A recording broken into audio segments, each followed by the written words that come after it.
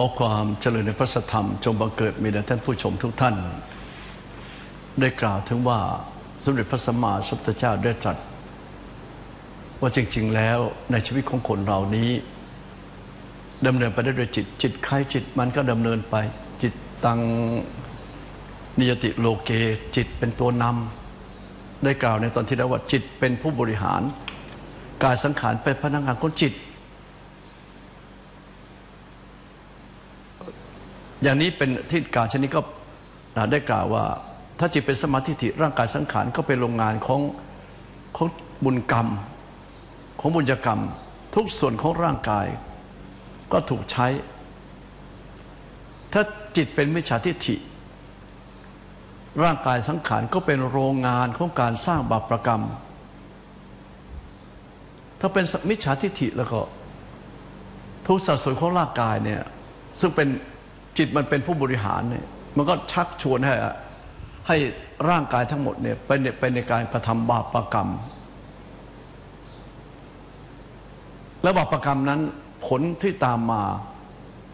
มันเป็นผลกรรม ผลกรรมให้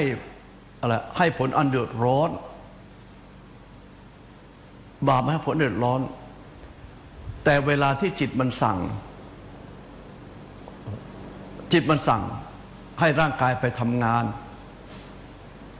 แต่เวลาผลสนองมามาสนองกับร่างกายนะ โดนตีกระบาลบ้างท่าน โดนเอาปืนยิงกอกปากบ้าง เอาปืนยิงหัวบ้าง ฟันกันบ้าง แทงกันบ้าง ทะเลาะวิวาทบ้าง แต่เวลาเจ็บมันเจ็บที่จิต จิตมันตัวรับมันส่งผลมาเลยก็สั่งให้ผมไปทำให้พวกเราไปทำอย่างนั้น ก็รับเอาไปเองสิ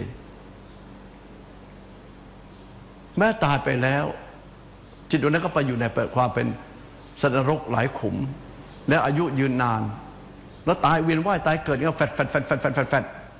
เป็นสัตว์ราชานบางอันก็เวียนว่ายตายเกิดบางชนิดเวียนว่ายตายเกิดอย่างนั้นแหละห้าร้อยชาติมันเดียวเดียวท่านเปรตอสุรกาย นี่จิต พระธรรมสามจึงตรัสว่ามโนปุพังเข้ามาธรรมา มโนเศรษฐามโนมยามันเจปทุเถนะภาสติวากโรติวา ตโตนานทุกขบันเวติจักกังวะวาโตปะทังแปลว่าแปลว่า ทุกอย่างมีใจหัวหน้ามีใจเป็นประธาน ทุกอย่างสำเร็จด้วยที่ใจ ถ้าใจมันสั่งให้ทำบาปเสียแล้ว ความทุกข์ทรมานหรือบาปนั้นก็จะกลายเป็นเสมือนรอยเท้าโค ก็เหมือนอะไรรอยเกวียนทับ รอยเท้าโค ถ้าเปรียบสมัยนี้ไหมฮะล้อรถข้างหลังมันก็ทับล้อรถข้างหน้ากันแล้วกันท่าน